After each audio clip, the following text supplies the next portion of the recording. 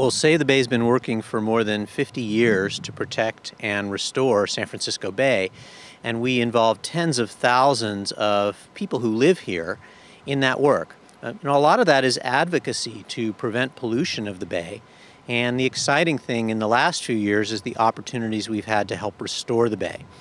Uh, this project is uh, really getting that restoration work up to scale.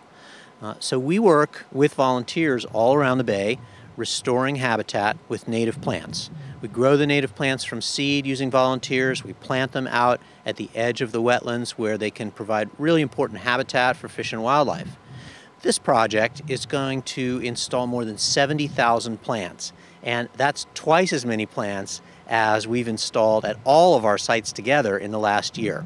So it's very exciting to be getting this work up to scale and to do it in a way that's providing so many multiple benefits.